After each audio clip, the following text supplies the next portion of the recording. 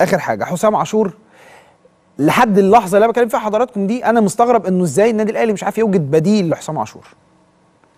يعني حسام عاشور هذا اللاعب الذي لم ينل أي حظ من التواجد في منتخب مصر هو أهم لاعب دلوقتي بالنسبة للنادي الأهلي ومش لاقي لا مش الأهلي مش لاقي لعيب يعوضه. مع كامل تقديري واحترامي لكل حد هيقول أصل النادي الأهلي عنده في كذا وعنده كذا بس نص الملعب. مكمن قوة أي فريق بالنسبة لي أنا بشوفها كده. مكمن قوة أي فريق بالنسبة لي خط دفاعه قبل خط دفاعه أو منتصف ملعبه.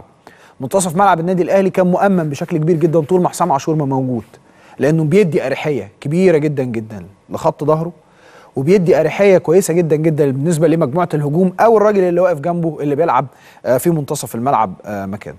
على الأهلي إما أن يبحث عن بديل داخل النادي الأهلي مجموعه اللاعبين فليكن مثلا حسب ما الناس ما بتشوف وترى إنه هذا الدور قد يكون في أكرم توفيق أو أن يبحث عن هذا الدور خارج خارج النادي الأهلي.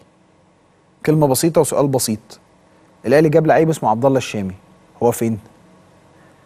بعد الفاصل مستمرين مع حضراتكم في الحريف. هنتكلم في تفاصيل مهمة جدا وأول مباريات منتخبنا الوطني. ال- الودية وآخر التفاصيل اللي تخص استقبالاته خليكم معانا في الحريف